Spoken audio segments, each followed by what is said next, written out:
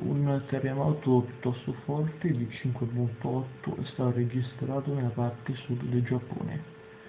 Alle ore 21.23 locali erano le 14.23 in Italia, con, con epicentro nella prefettura di Ibaraki, a est di Tokyo.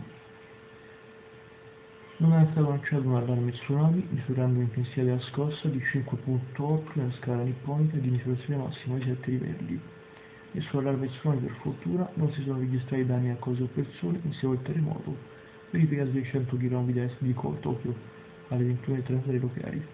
Secondo la Japan Meteorological Agency, che ha rivisto una magnitudo 5.856, l'epicentro si sarebbe verificato a 40 km di profondità, nella prefettura di Ibaraki. Bene, questo sarebbe quanto, vi ringrazio per l'ascolto.